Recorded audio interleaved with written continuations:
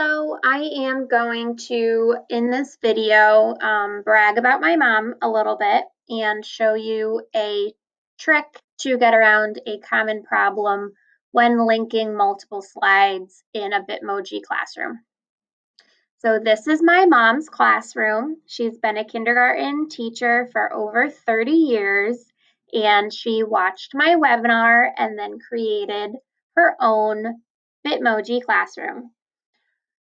We came up together with the idea of putting these yellow boxes around the links in her classroom so that the kids would know where to click in order to find the videos. This classroom is meant to be her center, so she has uh, letters, numbers, and a read aloud. And then she is also um, linking to various other books on her bookshelf each week. So we are working now to add a recess room. We're going to add games and things in there for their break time. Um, but when we go to present mode, she's going to use um, present to the web or publish to the web to do this. We can click on the um, outside links, no problem. And then we can go back to the classroom but if we accidentally click where a link isn't, it advances to the next slide and we don't want that. Um, our link to go back to class works, our link to recess works, but if a student accidentally um, clicks, you know, on one of these targets, it's going to go to the slide above ahead and we don't want that. So unfortunately, the master view slide doesn't fix this issue, so we need to put one more transparent box on each slide.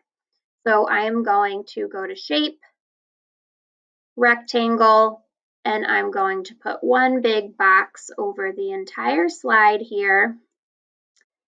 I'm going to go to the fill color, make it transparent, I'm going to leave a border on it just for now so you can see it, what I'm doing. Um, I'm, actually, I'm going to make that a little bit thicker so you can see this box while I'm working, but then we're going to make it transparent at the end. We're going to do this box that is over the entire slide now. You are going to highlight it and insert a link, and you are going to link it to the slide itself. So by that, I mean you're going to drop down on slides to this presentation. And because I'm working in slide one, I'm going to link it to slide one and apply. So now when we go to present mode,